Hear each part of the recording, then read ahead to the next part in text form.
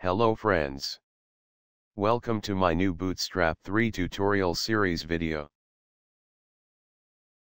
Being first tutorial, today we will discuss about what is Bootstrap 3, and how to set up its environment for quick start. Friends. In order to learn Bootstrap 3, let's visit Bootstrap 3 official website. Open Google and type Bootstrap 3.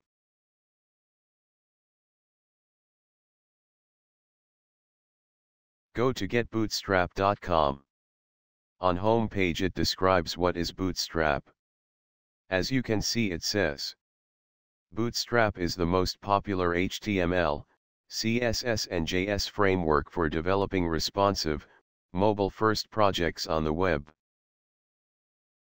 That means it's a front-end framework which is used to create responsive mobile-first projects on the web.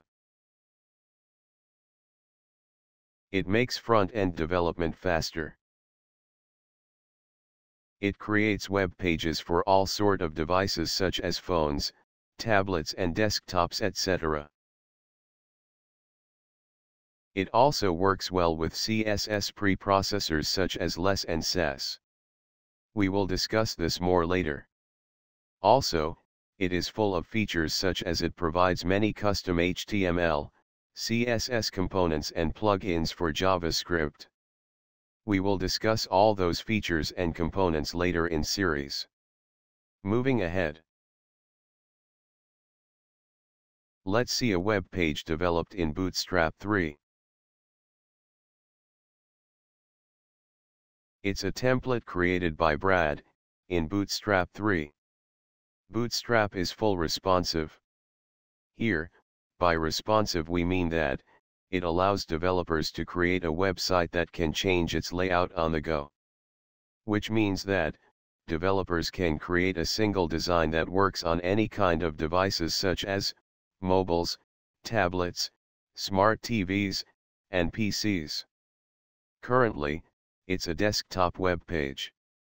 When I change its width to mobile or tablet size, the web page responds quickly and adjusts its components. Thus, making web page responsive. That's the power of Bootstrap. Moving ahead. Let's see how to download and set up Bootstrap 3 for quick start. On home page, there is download Bootstrap button. Click on it. You can see there are few ways to download and start web development with Bootstrap. One is just downloading compiled and minified CSS, JavaScript and fonts without any docs. Second is downloading Bootstrap with complete source and docs. And third is using Bootstrap ported from LESS to Sass. We will discuss it later. If you browse down, there is something called as Bootstrap CDN. CDN means Content Delivery Network. That is you can work with Bootstrap without downloading anything. You can just include CDN links to your HTML files and you get power of Bootstrap. Moving ahead. Bootstrap can also be installed on machine through Bower, NPM and Composer.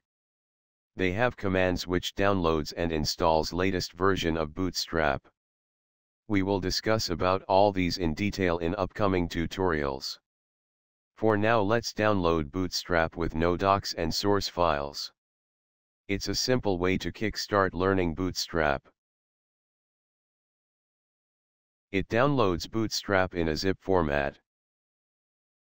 Let's open and extract the Bootstrap zip.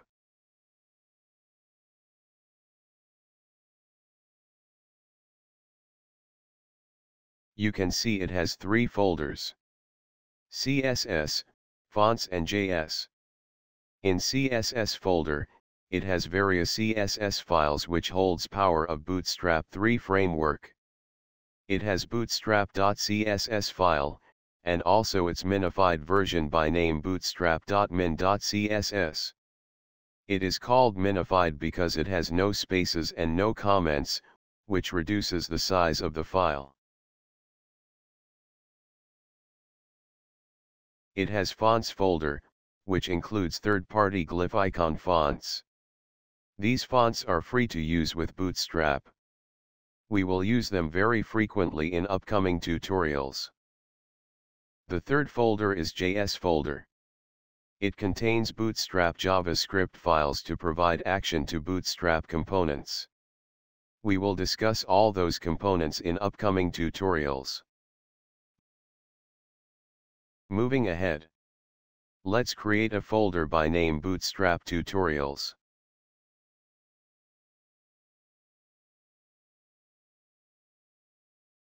We will code all our Bootstrap examples in this folder.